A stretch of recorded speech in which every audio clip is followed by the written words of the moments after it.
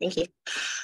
Good morning, everyone. Um, let us pray. Father, I thank you for another opportunity for us to be here today. I thank you that you have given us this, this chance, this um, privilege to study your word and to learn from your word. I know it's called Sunday school, and it's like going back to the basics. But Lord, I thank you because once our foundation is right, you can build upon it correctly. I ask that every foundation that we have we have that is not of you, that we haven't built correctly, that hasn't been based on your word, that it be removed and uprooted in the name of Jesus. Father, I pray that you help me even as I speak, that Lord, you would speak through me, are you, Holy Spirit? I know that you are the ultimate teacher. You will teach each one of us. We'll hear a voice behind us saying, This is the way we should go. Hear this. This is what we're supposed to be listening to. I ask for this in the name of Jesus. Thank you. In Jesus' name, I have prayed. Amen. Amen. Amen. Amen. Good morning. I let say good afternoon. good morning, everyone. It's an honor to be here today. Um, today um, we're going to be talking about Christian social responsibility. Um, it's an interesting topic, I think. It just follows, it just continues from where we um where we started or where we continued. Oh, good morning, Moji Bolariwa. I hope I got the name correctly. good morning. Thank you for saying good morning back. So we're just going to be continuing from where we stopped last week. Last week, we are talking about a helping hand.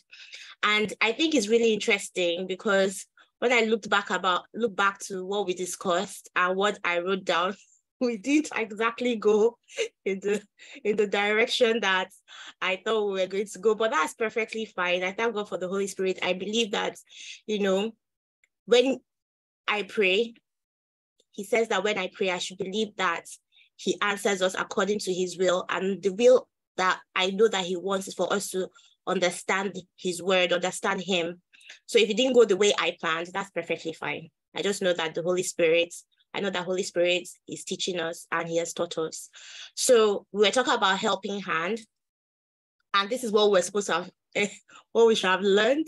But I'll just summarize what we actually learned and what we should have learned. So what we learned last week, from what I remember, was that one, um, we should first of all, we should first of all be, um, first of all, it's, from the uh, what's it called? Memory verse, and it says that we should do good to those, to every man, all men, especially or particularly to them who have the household of faith. And I remember like what uh, Stonome, and she was talking about, you know, sometimes you you, you don't even know that the people around you that are the closest to you are the ones that actually need the helping hand. You keep looking outside and keep looking um, externally, but sometimes it's the people that are very close to you that actually need help. They need help either with um, doing stuff for them uh, financially, emotionally. You know, sometimes somebody just needs a hug, you know, or somebody needs a phone call. Nobody has sent a text. Nobody has asked after them, you know, and it's somebody close by, it might not be even somebody far and not only that even you know when you want to do stuff um things for people as in one of the things i really love about love assembly see you cannot give what you don't have and it's unless you receive love and that's why um god has shed his love abroad in our hearts because when you have received love is easy for you to give it out. It's difficult for you to give what you don't have. So one of the things I love about Love Assembly is you we receive love from each other. If you're not receiving love from from someone in Love Assembly or just Love Assembly, like the people that come into Love Assembly, because we are Love Assembly. If you're not receiving love, there are two reasons. It's either one, you're not part of us, or two, you're rejecting it. But because it's there to it's there to receive, as in just make yourself available, open. It is a scary thing to be transparent and to be vulnerable. But I thank God that is Love Assembly is a safe place. We we love you. I just I don't know why I just said that, but you're loved. I love every single one of you. And I want to appreciate, you know, I was talking about Thanksgiving the other day, and I want to appreciate every single one of you, one of you since we started um, online Zoom um, Sunday school and making it interactive and being part of this. You know, it's it's not easy. You could easily say, I don't need to be here. I'll be here at 10, I'll be at church at 10 o'clock, and that's fine for me.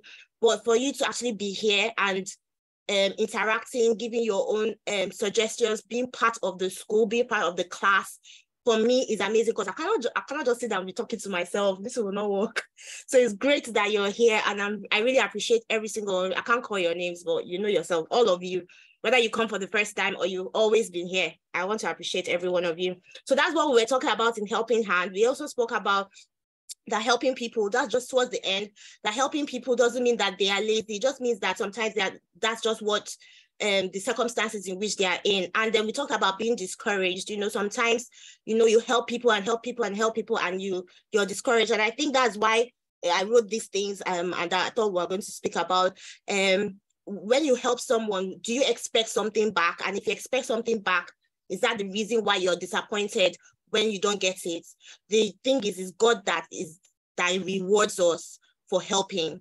And um, I wrote there at the end, God loves when we give and he will always pay back in ways we least imagine. You know, I just, I, I remember there was a time when we're raising um, uh, funds for compassion, um, Operation Christmas Child, and it was a Sister that was leading that prayer. And she was saying that, you know, when you're giving, you don't even know that God is giving you back, from back from the back end or from the side, or I don't even know how else to put it, as in how she put it, but it, it really struck me because you know you're healthy you're strong you you have a job you have you have um, a way to help somebody financially. You can actually you have time. You know maybe sometimes you might not have um, money or this, but you have time and you can give that time. It's, it's something that you don't know the day that you need time. Somebody's the one that will come and sit down with you the whole day and just spend time with you and that is the kind of thing that god does and you know um, i'm also reminded about the, the, the scripture that says that we that every every something supplies. Oh, I was remind um, every something supplies. Somebody should remind me. Every every yes, I know somebody wants to remind me. Every something supplies. You know, like the body, and then oh, sorry, I forgot. Joints. Every joint supply. Thank you, thank you. That sounded like my husband, but I'm not sure. Uh, that sounded like Mr. Bams. Okay. Um. Yeah. So it was? Okay, thank you, very White. Right, so today we're going to be talking about Christian social responsibility. And it continues from helping her because it extends. And the memory verse is taken from um, Matthew chapter 5, verse 16. And it says, Let your light so shine before men that they may see your good works and glorify your Father which is in heaven. And uh, if you can unmute and um, if you can unmute and uh, repeat after me, that would be great. So we're going to be repeating Matthew chapter 5, verse 16, and it says, Let your light so shine before men that they may see your good works and glorify your Father which is in heaven. So please repeat after me. Let your light so shine before men. Let your light so, light so shine before men. That they may see your good works. That they may see your good works. Your good works. And glorify your Father which is in heaven and glorify your Father which is in heaven. Matthew chapter 5, verse 16. Matthew, Matthew chapter 5, verse 16. Let your light so shine before men. Let your light so shine before men. That they may see your good works. That they may see your good works. And glorify your Father which is in heaven. And glorify your Father which is in heaven. Thank you very much. That was very good. Well done. It's good to hear your voice again, um, um, since Falaye. Uh, you've been missed. So, okay. So let's see. Uh, so we're studying from Leviticus, I hope I spelled that right. Leviticus, yes, 19 from verse 9 to 10. And when you reap the harvest of your land, remember we studied with King James Version, so you read it with your own version that you'll understand and will be easy for you to because that's what the word of God is. Um, he brings it to the level that you would understand. And where you reap the harvest of your land, thou shalt not wholly reap the corners of thy field, neither shalt thou gather the gleanings of thy harvest, and thou shalt not glean the vine, thy vineyard, neither shalt thou gather every grape of thy vineyard. Thou shalt leave them for the poor and the stranger. I am the Lord your God. And just to give an um, a background as to what um, this was talking about. You know, like Leviticus is uh, is an interesting scripture. You you might fall asleep if you if you don't have the Holy Spirit to help you. But many times when the Holy Spirit shows you Jesus in some of these scriptures, in some of the old in some parts of the Old Testament, you're like, wow, and everything. And I want to thank God for everyone that is that re- receives revelation from God and shares it with people because it's not easy to be honest. And I want to encourage every one of us that's studying the Bible through the year, you know, um, continue and continue, continue to persevere. The Lord sees your hard work and sees what your your your heart and sees what you're you're doing he will reward you in jesus name and if you haven't started reading the bible through the year or you have never read the bible through the year i want to encourage you you know it gets easier over time and the more you do it this is my um, I think my fifth year or sixth, fifth year of doing it. And it's, it's just amazing how God just continues to um, make the scripture come alive in our life. So this scripture, when when um, people that farm, what they do is that they normally farm and they, clear everything, they take everything, declare everything because they don't want to waste anything. But God is telling them that unlike the people that are around you, that's what they do. I want you to be different. When you do that, I want you to leave some so that people that don't have farmlands or they were not able to um farm or they were not able to get something, they'll be able to get something from the, the things that, but you see, the good thing about this is that it's nothing that just give it to them, but they themselves have to come to that place and glean it. This is how Ruth met her husband Boaz, just in case you, you, you want to have another picture. And the, the Ruth in the Bible met her husband through this gleaning um, kind of thing. So you you'd go to the farm that has already been um, harvested. There'll be remnants there. Once you have gone over it, don't go by it again and now be like, I'm not even going to allow even a little bit to even waste so that, you know, as in everything must be for me. But he said, he said, leave the other so that other people can come behind and also help. So that's what the scripture that um this our topic um, um Christian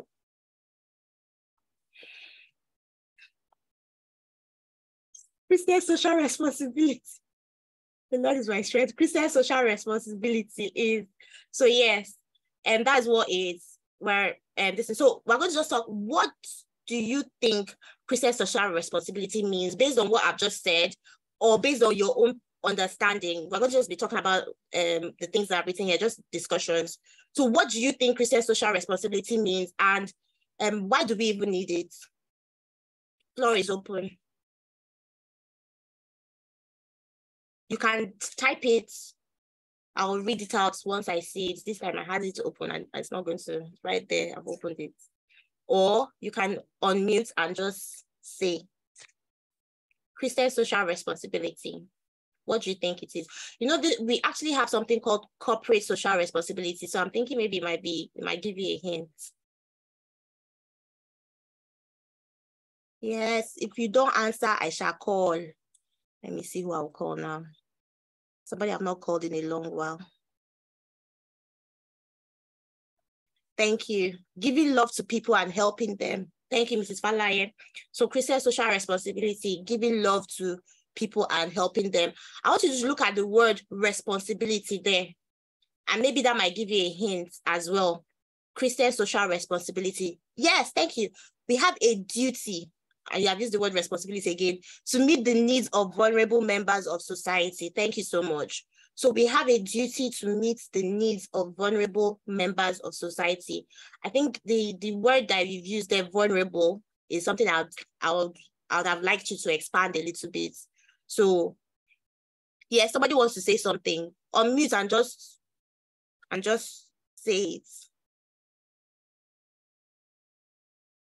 Hmm, I thought somebody wanted to say something. Okay, so Christian social responsibility. I'll read what it says here, and then we'll we'll Christian social responsibility is a faith-based obligation. You know, Sister um, Onome says duty. Obligation is like is the same thing to meet societal needs through the demonstration of love, like uh, Mrs. Falaye said, of love that positively impacts communities and individuals. Orphans, strangers, and widows, vulnerable people. Thank you. Orphans, strangers. The word stranger is, you know, stranger danger. I'm just wondering what you mean by strangers. You're not, it's as if like you're, you're digging a hole and I'll keep on pointing at something. Yes, orphans, strangers, and widows. That's what the word of God says. But what does strangers mean? what does it mean to what does strangers? What does that mean? So yes, um, orphans and widows. Yes, uh, it says here demonstration of love and positively impacts communities and individuals. There's something I want to say, I don't even know if you, maybe some of us might not know, but most of the schools that's um, that we have here, most of the colleges, universities that we have here, were actually created by um, churches. Well, Christians actually built those schools. Um, if you think about any school, any of these, what they call those elite schools or top ranking schools, many of them were created by Christians. Their bases were actually create were actually um were actually based on um, a Christian ethos. And the idea was that many of these people cannot study by themselves. They don't have the money to study, or they don't even know how to read and write. And Christians were the ones that came together. That's where Sunday school actually came out from, just so you understand. Sunday school was actually a proper school on Sundays because many of the children were going to work because they were they could not they could not um um they had to work and help their parents like go to the farm and everything. So many of them could not read and study. And then the church said, you know what, on Sunday, when you come to church, not only will you hear the word of God, but we'll teach you to read, we'll teach you to write. And that's where Sunday school actually started from. So just um, if you, for those of us that want to have an idea as to how Sunday school started um, or what, what we mean by Christian social response. So you just point, I'm just giving an example of schools, even hospitals, you know, it was a lot of times you find that it's churches that that starts many of these things. Many, Christians will say, you know, I see this need in the society and I want to help. And God, in his wonderful way, may, helps us to help others.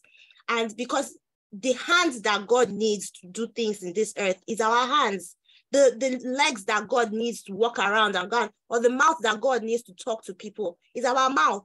So it's us that God needs, that God uses to to reach out to people, to talk to people, to um, help people, to um, lay hands on people. I remember when I was um, studying about Jesus and when we we're talking about when Jesus like touched a leprous person, the person probably had never been touched in a long time.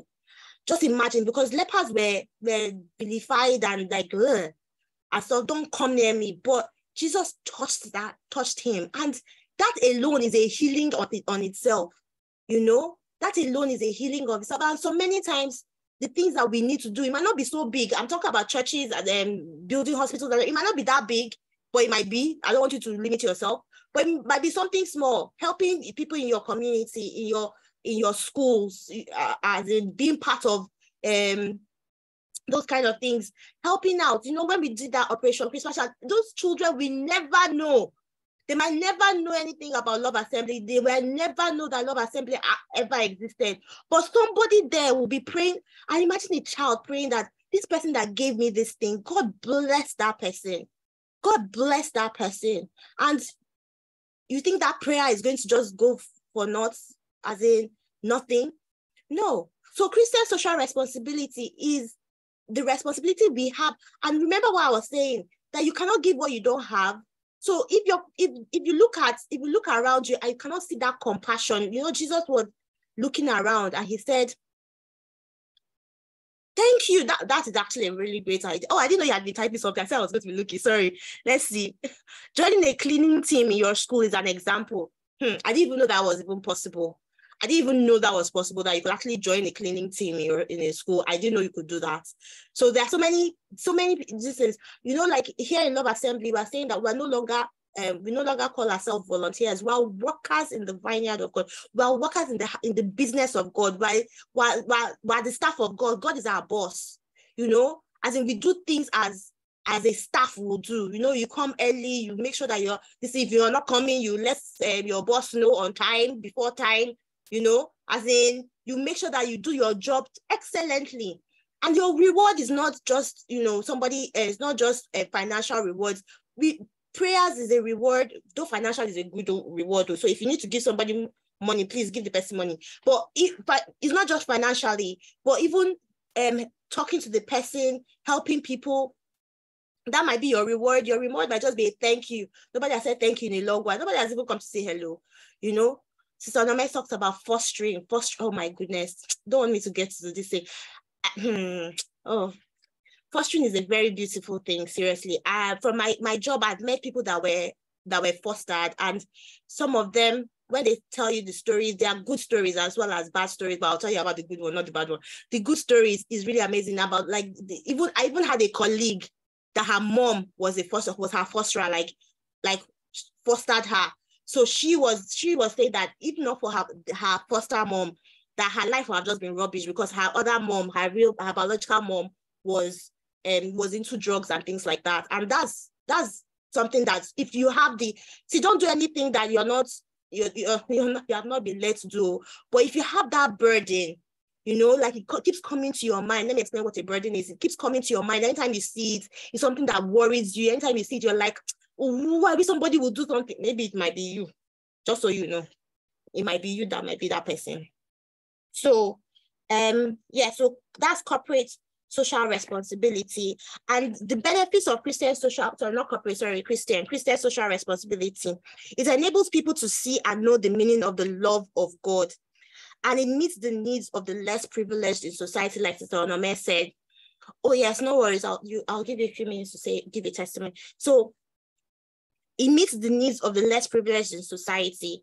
Um, because the truth is there are some people that are overlooked, but you can see God will open your eyes and you will see those people that this thing, and it will start come to your mind a lot more, you know. And then you not be like, God, how can I help these people?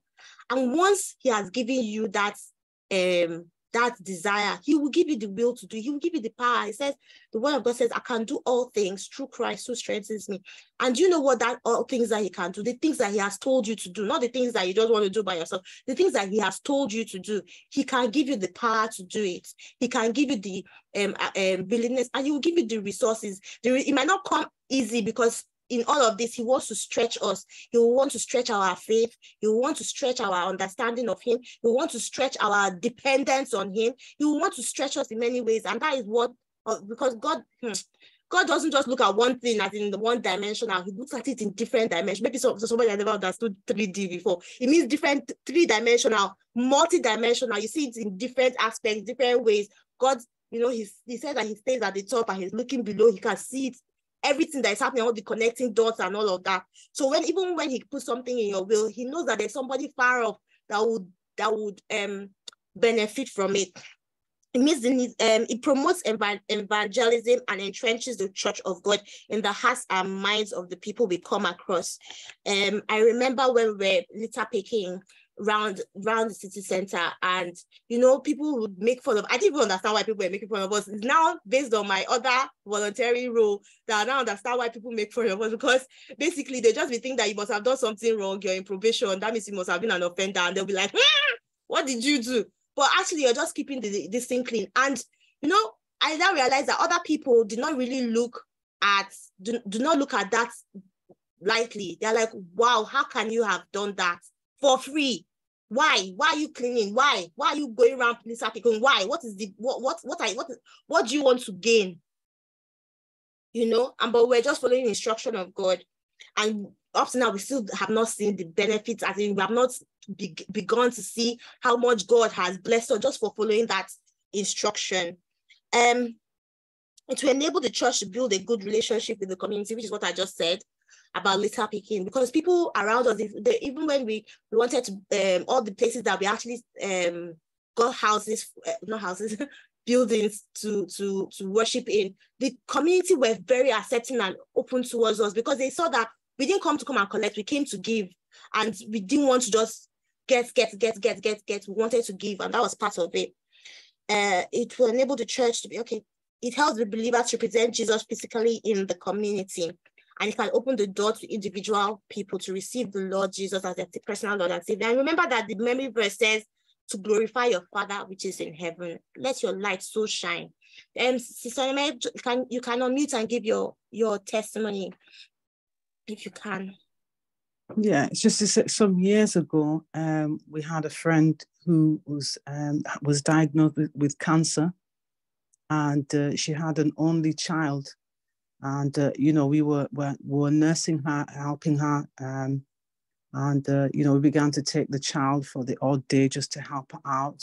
And one day went to weekend, and it was half term, and uh, in the meantime she was becoming more and more sick, uh, until uh, she had to be admitted to a hospice. Uh, and it was at that point I came to the realization, oh my goodness, we have this child. Nobody knows that we're with this child. And I went into a meltdown. I was crying. I was panicking because I said, I don't want to, to be looking after somebody's child. He has learning difficulties.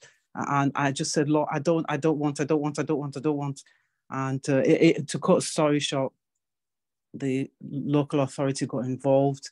and I told them, look, you, you can, we're not fighting you because they thought we were trying to kidnap him. I said, please, we're not fighting you. Please, you can take him we were just helping out a friend and they said, well, actually, uh, we have heard all that you have been doing. The school have told us, the, uh, the hospice have told us, uh, friends have told us, please, we would like you to keep this child. I just began to cry because I was thinking to myself, I don't want, you know, we have five. I said, we have five amazing children. We're very happy with those children. We were not looking uh, to do this.